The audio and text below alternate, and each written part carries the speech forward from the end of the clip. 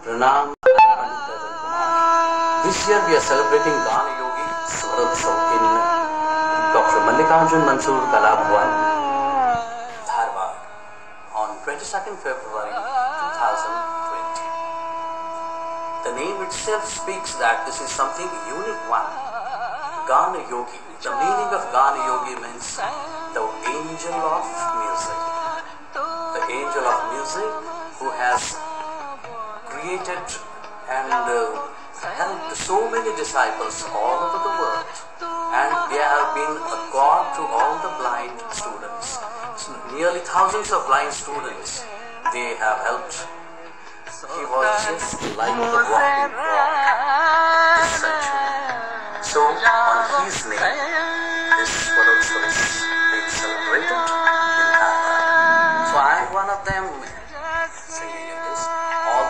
Artists and international level artists are performing in this Mahotsav. So please join here and make this function a grand success. Thank you. Namaskar.